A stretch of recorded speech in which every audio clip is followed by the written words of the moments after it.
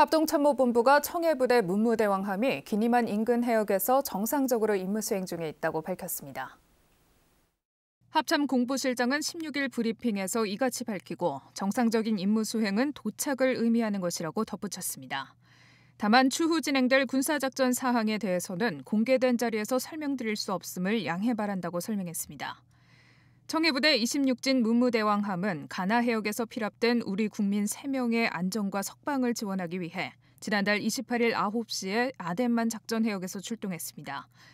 정부는 지난달 26일 우리 국민의 피랍 사실을 인지한 직후 재외국민 보호대책본부를 가동했고 가나와 나이지리아 등 현지 국가들은 물론 우방국들과도 협조하며 우리 국민의 귀환을 위해 노력하고 있습니다.